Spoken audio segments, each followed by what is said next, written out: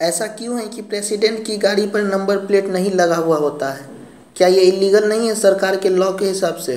तो भाई, जैसा कि हम सभी को पता है कि गाड़ी पर रजिस्टर्ड नंबर प्लेट होना कंपलसरी है, पर ज़रूरी नहीं है कि नंबर प्लेट हमारे भारत के प्रेसिडेंट वाइस प्रेसिडेंट और गवर्नर्स के चौदह गाड़ी पर हो।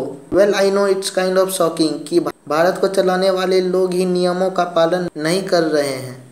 पर भाई, ये लोग उल्लंघन नहीं कर रहे हैं, बल्कि उन ब्रिटिश लोगों के नियमों का पालन कर रहे हैं, जो कि कब के इस देश से भगाए जा चुके हैं। और उनके इस नियम के पीछे का स्लोगन क्या था, पता है? The king can not do any wrong वाह, इसलिए तो मस्त चौड़े होकर प्रेसिडेंट बिना किसी नंबर वाली गाड़ी पे फॉरेनर्स लोगों को सैर कराने के लिए निकलते हैं।